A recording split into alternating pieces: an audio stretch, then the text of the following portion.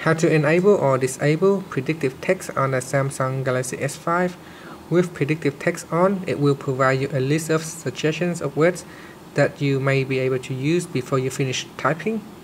So first press on the home key at the bottom to go back to the home screen then go into settings scroll down to the system section and tap on language and input.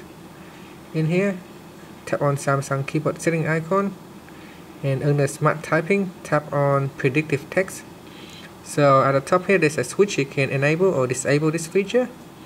So once it is enabled you can go to an in, uh, to a text message application here for example. And if you put in something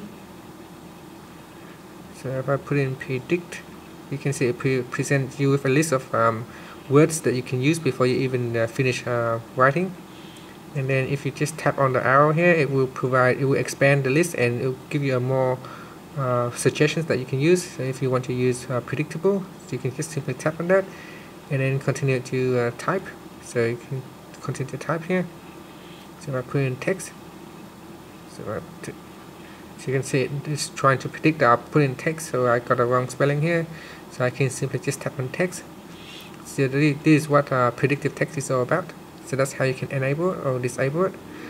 So you can do it through settings in here